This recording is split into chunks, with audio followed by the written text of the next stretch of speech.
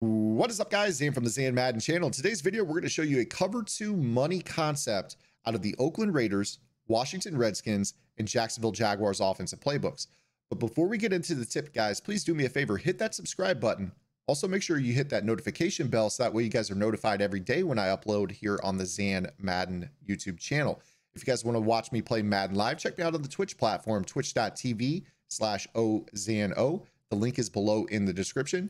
And if you guys want to subscribe to me over there, I do have exclusive sub only content that I give my Twitch subscribers that you will not find here on the YouTube channel. If you guys have Amazon Prime, that means you have Twitch Prime. That'll give you one free sub that you can give to any content creator on Twitch.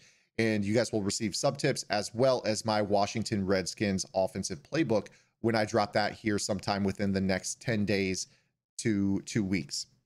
So I want to give you guys a sneak preview here in this video of a formation that is actually in the Washington Redskins book, but it's also in the Raiders book, which is great because many of you guys are players who run the meta. You guys like to run the ball out of the run sets out of the Raiders book, but you do want something that can help kind of uh, move the ball downfield. Now, everyone knows the traditional passing formations in the Raiders playbook. They know the tight slots halfback weak. They know the uh, the Trey Y flex type formations. They know the money passes that you have out of the run first formations.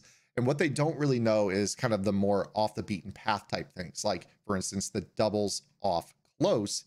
And what we're going to be looking at here is a route combination that you can run out of this formation because of the way this formation lines up. And what we're going to do here is we're going to put the wide receivers to the wide side of the field pre snap. And we're going to put the outside receiver on a fade.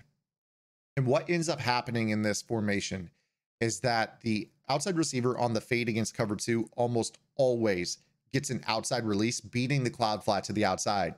Now, for those that don't know what the cover two is about, they talk about what's called an MIR in cover two.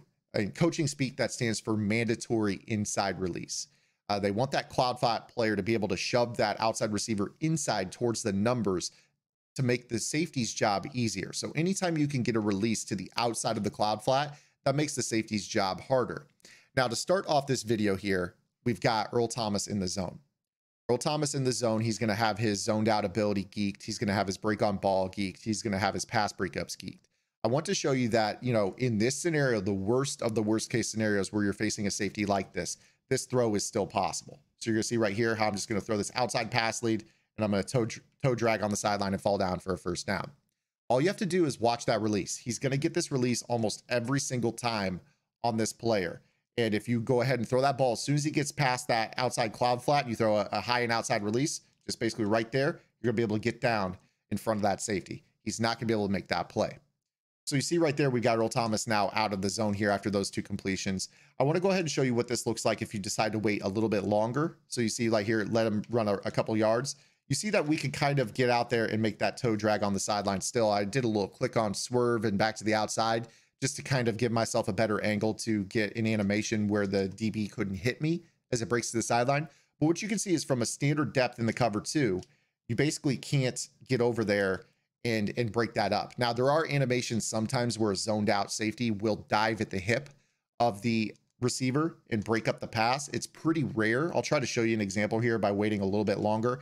You see right here, if I wait on it, that example, you could get a pass breakup. But again, guys, if you have like, you know, really solid catching traffic, maybe even some abilities on this player, this is one of those things where you should be able to, you know, hold on to this ball pretty routinely against the cover two defense. Um, and you see, we're continuing to throw it over and over and over again. Now, if you think about how people play in MUT, when you play in MUT, you're facing Sean Taylor. Most people will probably have lurker, enforcer, and maybe a tackling ability on him. Maybe some guys will use a universal coverage on a safety at that spot. But even then, as you see that we're getting this same animation every time, outside release, and you're just going to go ahead and throw that ball right in that spot. And honestly, right there, I tried to rack it. Um, but you possession catch it, it's a guaranteed catch. If you rack it, if you get skilled at racking it, there's potential for you to get you know, potential one play touchdowns if you can really get this down. So you see right here, you know, try to rack it up field. If I don't play the tiptoe game on that sideline, there's a chance that that's a touchdown. And again, this is all due to the spacing of this formation. This is not really anything crazy. If I were to run the same route combination out of other sets, there's a chance it probably doesn't even work. Um, but you see right here how when we do that little click on uh, swerve rack right there, we're able to really beat Earl Thomas easily. Now, if you're struggling with Earl Thomas or any type of safety really getting to that throw, something that I will do is I will put either the B receiver on a streak or I will put the Y receiver on a streak and try to motion snap. Now, some quarterbacks have pointing animations in game where you can't get the snap off, but if you can, try to get him where he runs the route down the seam and makes that safety have to play the distance, which is going to allow you to kind of get out there. Now, right there, you see we were still able to make that catch. I threw it mad late uh, just to kind of illustrate there.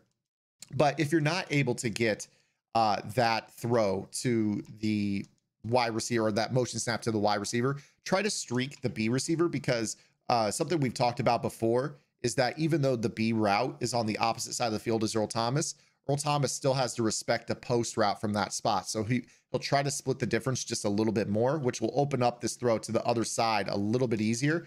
Um, again, you see right there, he he tries to make a swatting animation.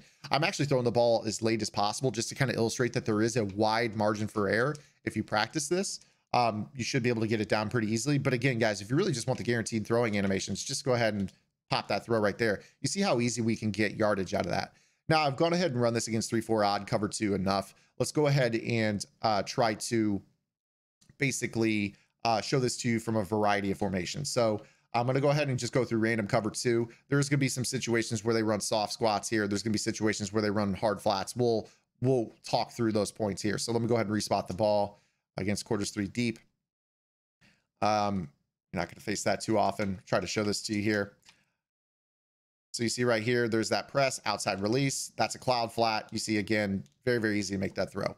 We're going to go through pretty much uh, pretty much as many cover twos as we can here. So this looks like kind of a three, four, three, four package. The line is overshifted to strength, uh, possibly a three, four overlook here. Again, that same press animation. Go ahead and throw the ball to the outside, toe drag on the sideline, easy click on a catch. This is pretty much a guaranteed 20 yards against cover two every single time. This looks like a nickel 245 package. Uh, again, right here, we're going to try this again. You're going to be looking at this animation, a little shove to the outside, outside pass lead, click on, possession catch. First time we've dropped it at all in this was right there in that nickel 245. Uh, here's an example again of 3-4. Uh, we're going to be looking. This looks like a, that looks like it was just a straight up hard flat. And you see right there that he, he just let him run straight by. That was an easy click on rack swerve for a touchdown. So right there, soft squat didn't even jam him. Free release down the sideline. Easy pickings right there. Uh, we go ahead and go back to this looks like another 3-4 package. Again, looks like the same deal, soft squat. We're able to click on, make that uh, catch the outside. So that little Ohio concept with the inside receiver on an out route causes a soft squat to just let, let the route run. Very, very easy pitch and catch right there against a soft squat. So continue to run it here. See right there, there's that soft squat again. You know he's just going to drop it off. Go ahead and throw that ball, rack, catch it. Easy one play score against a soft squat. So they cannot play, you know, that cover two blitz without moving the safety all the way back. If they play that cover two blitz or a cover two sink, this is going to be a one play score for you. Uh, you see right here, here's an example, cloud flat. We're going to go ahead and throw that outside pass lead, click on, make the possession catch. There's that diving at the hip animation I was talking about right there. Sometimes you will get a zoned, zoned out safety that will get that animation, but it's not too often. Right there, you see the, the uh, soft squat opens his hips. You know right away when you run this, they're either going to open their hips immediately and say, hey, go right by me, and it's a touchdown, or they're going to stand in front of you and kind of just shove you to the outside, which you're going to be able to catch. Or if they play a hard flat, you're going to get a pretty easy release as well. So you see right there, there's another cloud flat. We'll go ahead and click on, make that catch behind. So you guys get the drift at this point. This is absolutely money against the cover two shell. Hopefully you guys enjoyed this video. Again, guys, this is in the Oakland Raiders playbook, but it's also in the Washington Redskins playbook. And what I'm going to try to talk to you guys about, you know, as I just think through the process, again, this will be available, uh, this thought process, but I'm going to give it to you here as well when we get into the actual offense that I'm running out of the Washington Redskins, obviously players are going to adapt. They're going to move their safeties out wide. They're going to start to try to take away that throw on the sideline. And that's why I really like the hot route master because then you have the ability to put guys on post routes and really beat the safety across the middle in between the safeties. You can really toy with them based off of no matter no, no, matter who they move. If there's somebody that moves their safeties, you still have the ability to put guys on routes that you otherwise wouldn't with the hot route master. And personally, for me, that's why I love the Hot Route Master in the Washington Redskins book. And that's going to be available to my Twitch subs. So, again, guys, if you have that Amazon Prime, we're going to be dropping this game plan within probably the next 10 to 14 days. I'm really excited to get to it. There's been a lot of hype around it when I've been streaming on Twitch. I hope you guys will check me out over there as well. Again, guys, the link is in the description. Thank you so much for the support here, guys. Again, make sure you guys hit that subscribe button, hit the notification bell, and we'll see you guys tomorrow with our next upload. Until then, this is Zan. Get in the lab and good luck.